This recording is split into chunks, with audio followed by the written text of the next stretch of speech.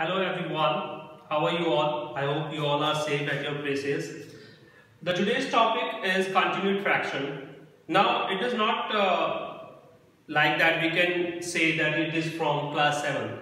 In so many competition exams you will find uh, continued fraction sort of questions. Okay, so as personally as a maths teacher I would recommend that this topic is to be taken by everyone okay this is a key concept and uh, again it will boost your range of solutions. First of all continued fractions mean a fraction beneath the fraction. That means in a fraction there will you will find a, again a fraction. For example here you can see 2 plus 1 upon 2 and in the division in the denominator we again get a fraction. So in such a cases we will look at the last fraction for example, here we will simplify this 3 plus 1 upon 4. Now since 3 has no denominator, so we will put it as 3 upon 1. So first we will simplify this, we will take it as, we will take the LCM, so we will write again 2 plus 1 upon 2 plus 1 upon. Now 1 or 4, LCM of 1 or 4 is 4, 4 upon 1 that is 4 3 is 12 plus 1. So the solution comes out to be 2 plus 1 upon 2 plus 1 upon 13 upon 4. Now as you can see 1 is itself in a division and it has a fraction in its denominator. So this 13 upon 4 will be reciprocated and it will be written as 2 plus 1 upon 2 plus 1 into 4 upon 13. 13 upon 4 will be reciprocated. Now here it will be written as 2 plus 1 upon 2 plus. Now any number, any fraction multiplied with 1 will give you the same result 4 upon 13.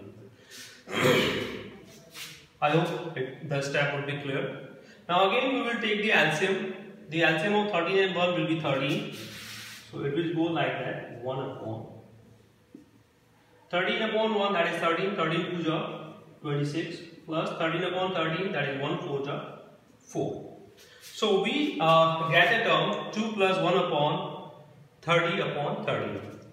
So I'll use the bracket. So I'm taking the term from here. 2 plus 1 upon 30 upon 30.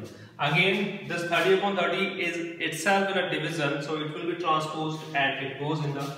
You can write something like this. See, 30 upon 30 is in division with 1. So you can represent in this way. Now using the BODMAS, 1 can be written as 1 upon 1. Now this division sign has been replaced with multiplication and this divisor fraction will be reciprocated. So you will get like this. Since any number multiplied with 1 give you the same result. So we are getting 2 plus 13 upon 30. Again we have 1.